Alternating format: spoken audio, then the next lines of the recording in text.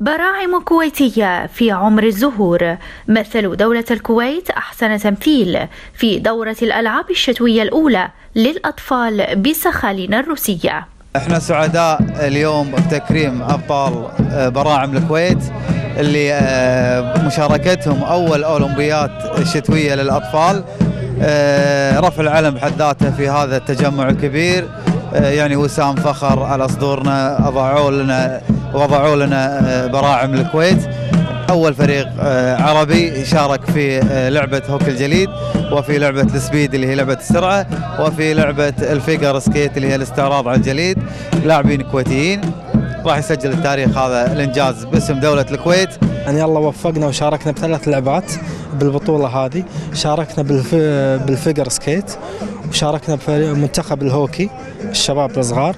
وشاركنا بفريق ال speed من لاعبين اثنين. والحمد لله الله وفقنا إن شاء الله. إحنا مو الدولة العربية الوحيدة اللي مشاركة. شاركت الأردن والإمارات وسوريا بس شاركوا كل دولة بلعبة واحدة.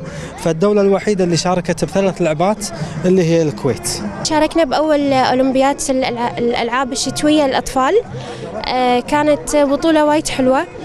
آه، ما حالفنا الحظ وفزنا بس آه، كافي إن إحنا شاركنا ورفعنا علم ديرتنا بمحفل رياضي دولي كبير. آه، وهذا يعتبر يعني البطولة تعتبر آه، أول بطولة من آه، من نوعها أول أولمبيات الأطفال.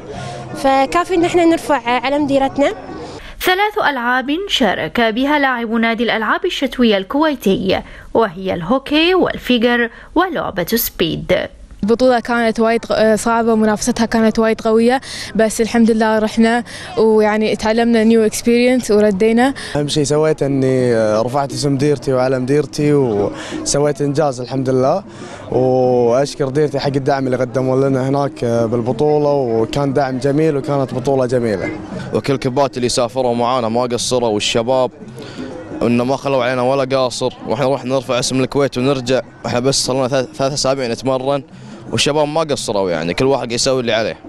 الفريق الكويتي برغم قوة المنافسة من المنتخبات المشاركة إلا أنه تمكن من تحقيق إنجاز باعتباره أول بلد عربي يرفع علامه في لعبة سبيد في هذه البطولة.